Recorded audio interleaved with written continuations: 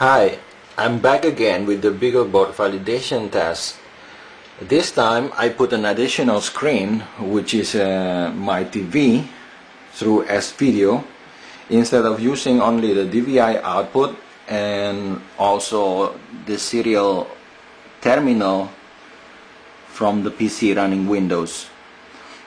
The setup is still the same so I have one BeagleBoard and I connected the serial port to my PC and my PC which is running Windows with the hyper terminal to monitor what happens with the BeagleBoard and then I have uh, two outputs now from the BeagleBoard which is a DVI connector connected to the DVI screen. And the second the second output is an S video output directly from the BeagleBoard to my TV which has a S video input. You see you can see that the S video input. Now I'm going to power up my BeagleBoard so I connect the USB power from the BeagleBoard you can see that the LED turns on.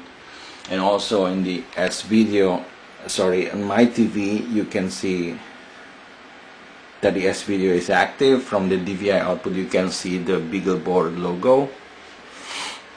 And here under hyper terminal you can see that now the system is reading the ramdisk.gz so basically it's a Linux kernel. Okay it's starting up.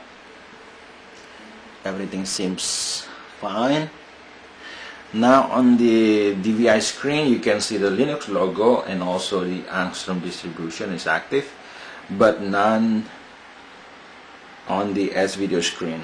Because in this in this case we need to activate the S video through the S video commands.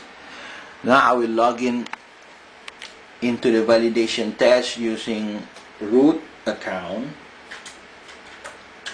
I just need to type root and enter okay. And to activate the S video I need to type S video. And press enter. Now on both screen you can see the the Linux logo and also the Angstrom distribution logo. So that's how to activate the S video and also DVI output from the BeagleBoard at the same time.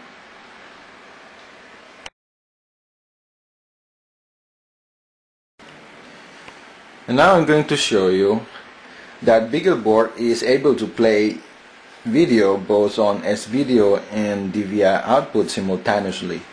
First I need to mount my SD card where I put my video.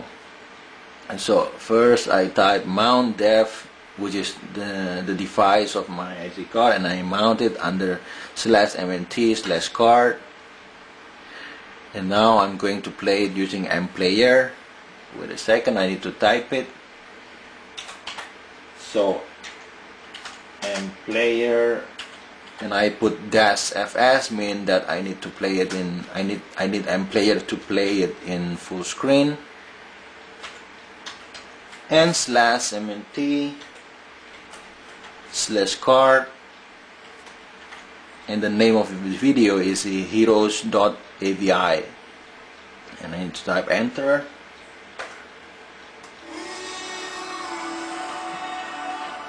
Now you can see that both S video and DVI output plays play the heroes.avi of course that the resolution on the DVI output is it's much better than the, the quality that you can see on the TV but it's pretty amazing for a small board like the BeagleBoard powered by OMAP 3530 can play this video simultaneously both on S video and DVI output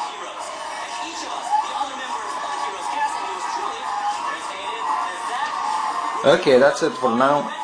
And thank you for watching.